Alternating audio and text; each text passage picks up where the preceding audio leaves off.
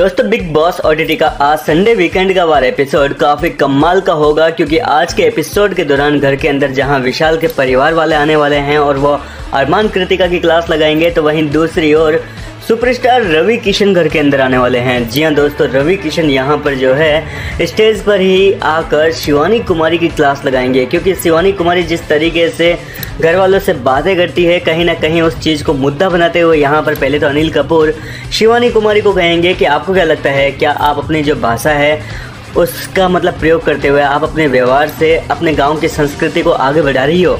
जिसके बाद दोस्तों यहाँ पर शिवानी अपना जवाब हाँ में देगी और इस दौरान अनिल कपूर की और शिवानी की बातें चल रही होगी, लेकिन इतने में सुपरस्टार रवि किशन की एंट्री हो जाएगी और रवि किशन यहाँ पर आते ही जो है शिवानी पर बुरी तरीके से भड़क उठेंगे। जी हाँ दोस्तों, वो शिवानी को कहेंगे कि, भाषा की आड़, में तुम ऐसे ना अपनी संस्कृति का वो बेजती नहीं कर सकते हो। आप किसी को अपमानित नहीं कर सकते हो।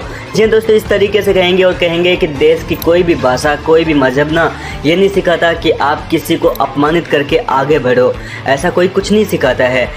हालाँकि शिवानी यहाँ पर जो है अपने माँ बाप की कसम खाएगी और कहेगी कि ऐसा बिल्कुल भी नहीं है, हम किसी को अपमानित नहीं करते हैं। हमारा जो बोलने का तरीका है, जो लहजा है, वो ऐसा ही है। हम सबसे यूँ ही बात करते हैं। जी हाँ दोस्तों, इस तरीके से वो अपनी सफ़ाई देने की कोशिश करेगी, लेकिन यहाँ पर अनिल कपूर और रवि किशन शिवानी की बातों को समझने के बजाय उल्टा उसी की और तगड़ी फटकार लगाने वाले हैं। फ़िलहाल आपका क्या है कहना इस पर अपनी राय हमें कमेंट करके बताएँ। लेटेस्ट अपडेट्स के लिए चैनल को सब्सक्राइब करें।